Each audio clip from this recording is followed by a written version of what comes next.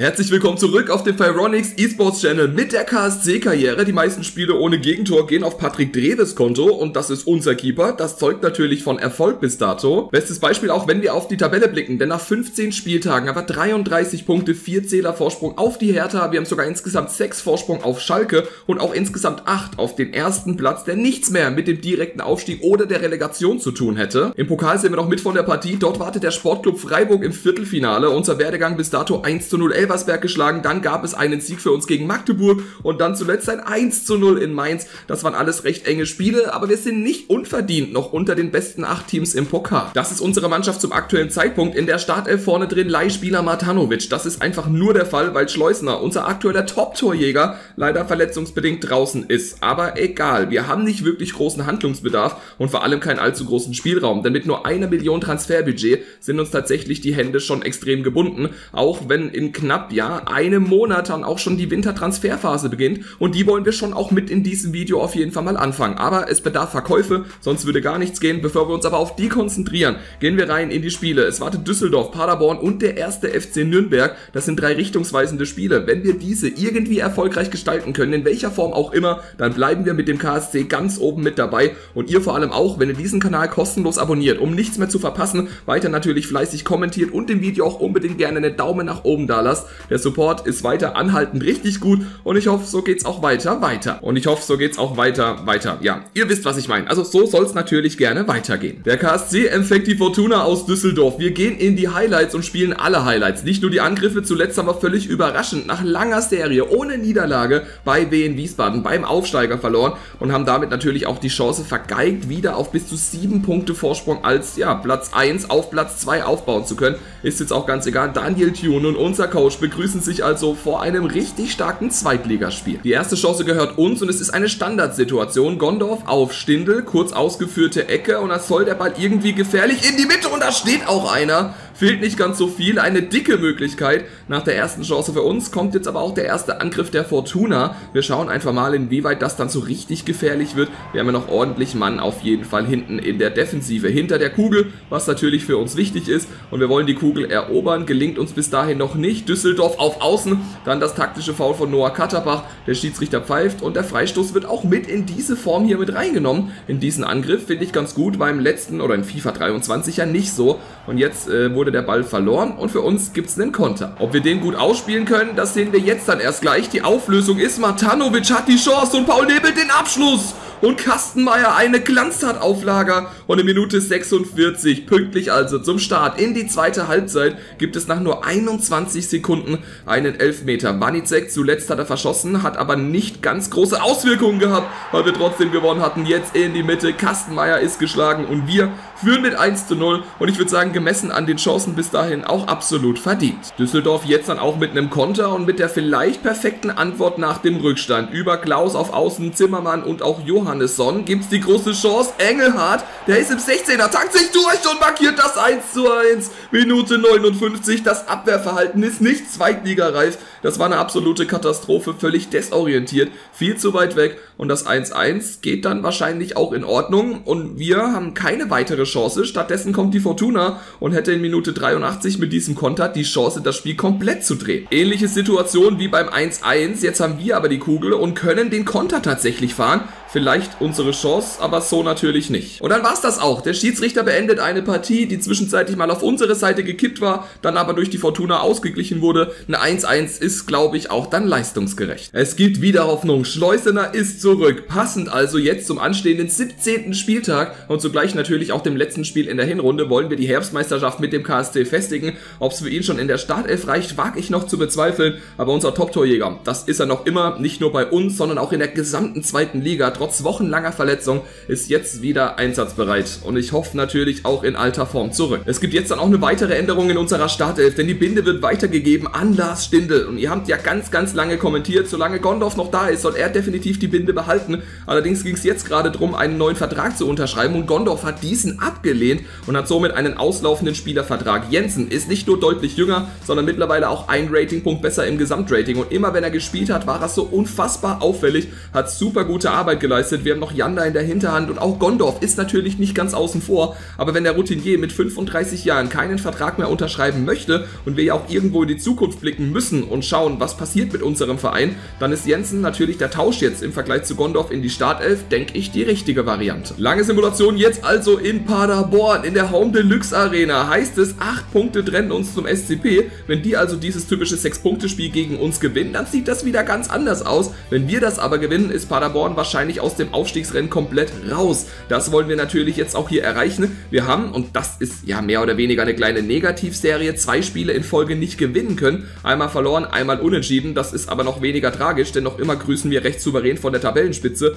Nichtsdestotrotz eine Niederlage hier und danach käme dann der Club aus Nürnberg und die Situation würde sich so ein bisschen verschärfen. Also zumindest die ziemlich souveräne Situation, denn auf Platz 1 ist es eigentlich keinerlei, äh, ja, ich sag mal, keinerlei Möglichkeit überhaupt was Negatives zu äußern, auch weil wir hier eigentlich ganz gut im Spiel sind. Also immer weiter positiv denken, es gibt gar keine Gründe, überhaupt auch nur ansatzweise an uns zu zweifeln. Jetzt aber der SC Paderborn, Max Kruse mit einem absoluten Hammer in Minute 26, genau das, was wir eigentlich vermeiden wollten, ist jetzt eingetreten. Die Führung für den Gastgeber in dem Fall. Wieder kommt Paderborn, wieder wird es gefährlich, aber ansonsten haben wir uns eigentlich ganz gut gefangen, haben uns das Gegentor jetzt nicht unbedingt anmerken lassen. Wir werden jetzt dann aber auch gleich wechseln. Wir haben auf jeden Fall das ganze Thema schon angeordnet. Für Rossmann soll Goller ins Spiel kommen und es soll natürlich Schleusener jetzt dann positionsgetreu wie auch auf dem Flügel reinkommen. Das Ganze also für Matanovic und es ist damit das Comeback von Schleusener, der jetzt wieder zurück ist in unserer Startelf, da wo er natürlich hingehört. Nach dreimonatiger Verletzungspause ist Schleusi also wieder am Start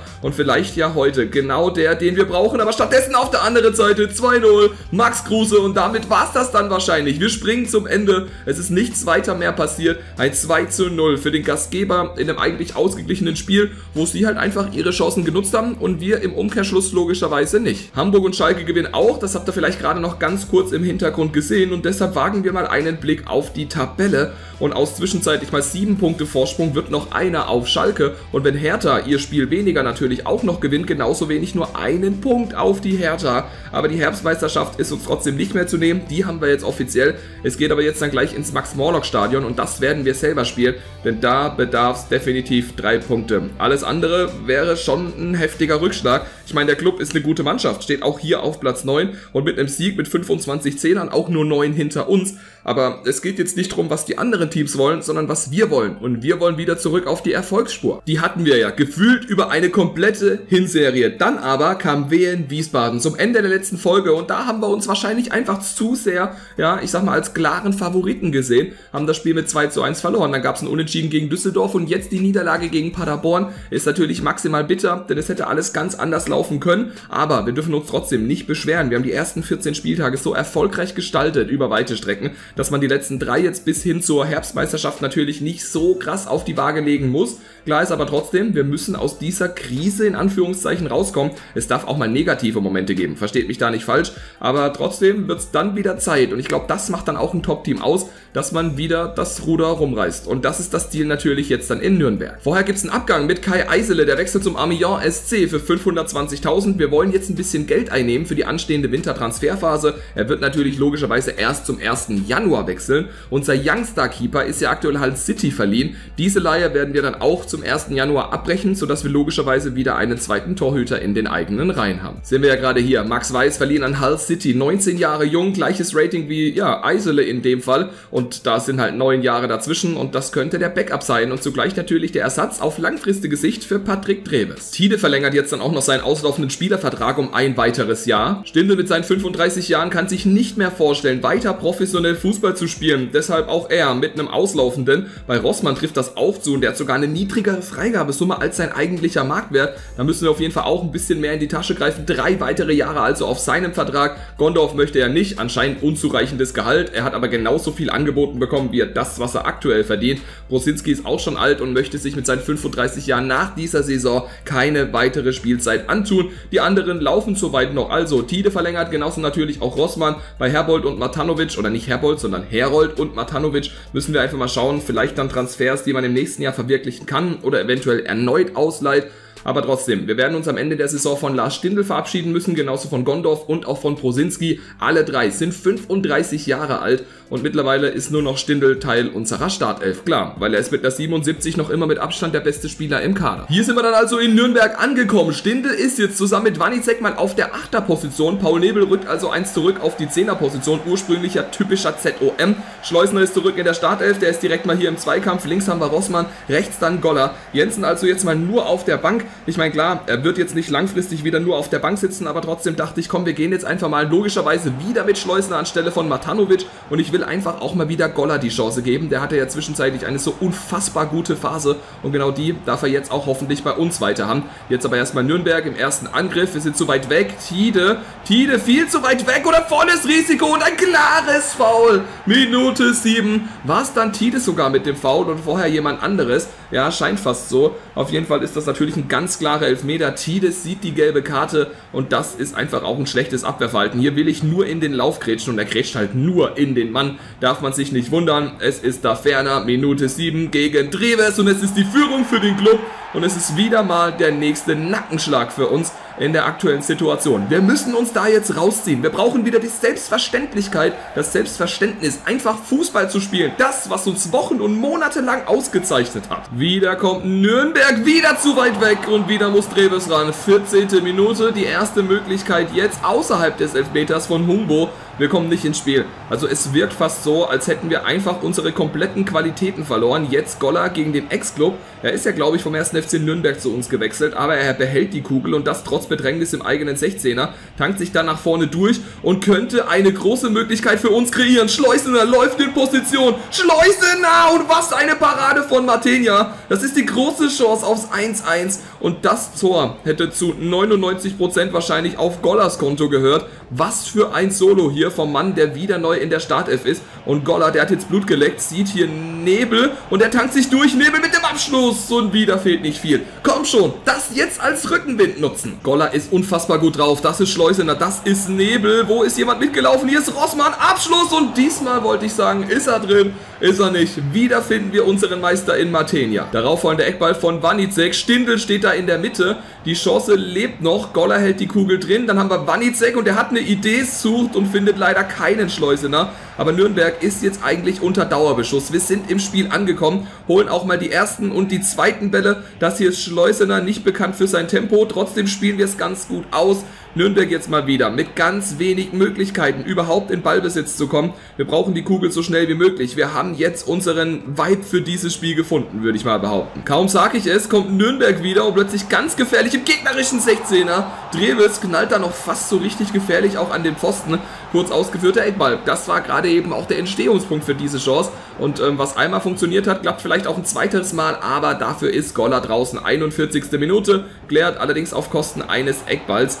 Duman raus auf Okunku, der hat die Kugel jetzt hier. Nürnberg sichert sich jetzt durch Ballbesitz wieder ein bisschen mehr Spielkontrolle und zwingt uns natürlich ja auch irgendwo zu Reaktionen in der Defensive. Das, was wir eigentlich verhindern wollen, denn wir haben den Angriff und da sind wir so gut und den wollen wir jetzt auch besser ausspielen und das mit diesem schönen Kombinationsspiel aus der Gefahrenzone im eigenen 16er raus. Ist es Goller, der Typ hat so unfassbar viel Tempo, so unfassbar viel Spielwitz und jetzt auch die Antwort auf diesen 1 zu 0 Rückstand, denn der KSC ist zurück in diesem Spiel. Benjamin Goller, 45 plus 1, wir gleichen aus und das ist unterm Strich absolut verdient, würde ich behaupten. Also dieser Wechsel hat sich sowas von gelohnt, auch schön von Schleusner, der den Weg dann da noch frei gemacht hat, weil er den Außenverteidiger mit nach außen zieht und somit die Lücke frei macht. Jetzt kommt hier Rossmann, auch Katterbach ist mit dabei. Katterbach übernimmt doch die Kugel, will er nicht und somit lassen wir eine große Chance oder vielleicht eine ganz gute Möglichkeit zum Auftakt der zweiten Halbzeit leider liegen. Aber wir sind zu einem psychologisch wichtigen Zeitpunkt zurückgekommen, haben auf 1-1 gestellt und können jetzt eigentlich mit hoffentlich dem Momentum,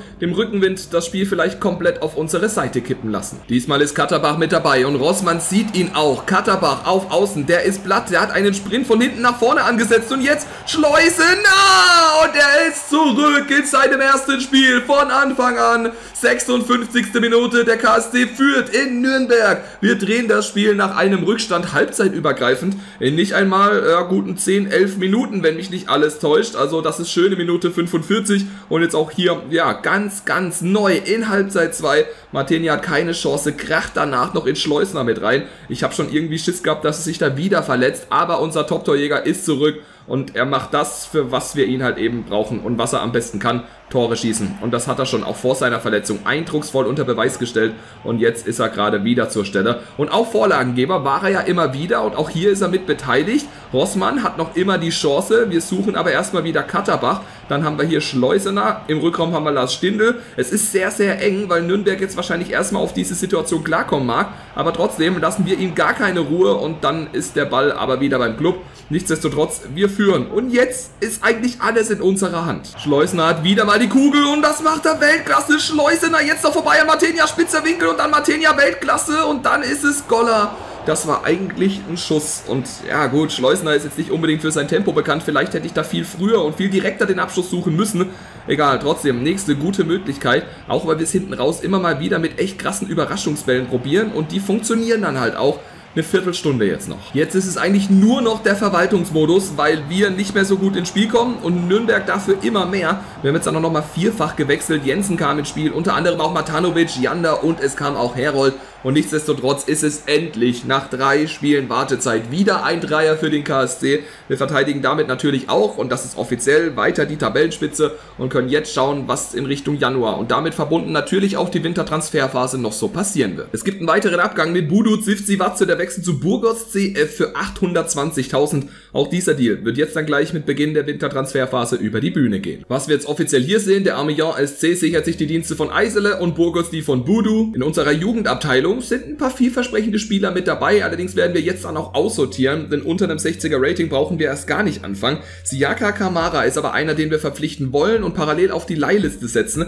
Hier haben wir dann noch einen Karl Winter, ja, 16 Jahre jung, wieso denn nicht das gleiche auch mit ihm und auch mit William Hooper. Probieren wir einfach und hoffen, dass die Jungs woanders Spielpraxis sammeln können, denn solche Youngsters sind für unsere Verhältnisse doch schon sehr vielversprechend. Mit Stefan Ambrosius ist ein Ex-KSC-Spieler, der mal letztes Jahr für ein Jahr zwischenzeitlich an den KSC ausgeliehen wurde, hier neu auf unserer Wunschliste. Und wir haben noch Rocco Reitz, was ich auch ganz interessant finde, denn wenn man bedenkt, dass ein Gondorf uns verlässt, dass ein Stindel dann auch geht, man bräuchte im zentralen Mittelfeld eigentlich durchaus noch so ein bisschen neuen oder frischen Wind. Er spielt in der Realität aber recht häufig bei Borussia Mönchengladbach. Wie realistisch dieser Deal wäre, weiß ich jetzt nicht. Vielleicht schwebt uns da so eine Reihe im Raum, eine Reihe, eine Laie logischerweise. Dafür aber hier Stefan Ambrosius. Wir könnten da vielleicht auch einen Tauschdeal mit Beifuß anordnen, damit einer 69 und 25 wäre er der jüngste unserer anderen drei. Logischerweise jetzt mit Franke. Und ich weiß gar nicht, ist Franke aktuell bei uns in der Startelf oder Bormut? Es ist Bormut. Könnte er halt neben Kobalt dann unser nächster Stamminnenverteidiger werden. Und deshalb werden wir uns mal mit dem HSV zusammensetzen.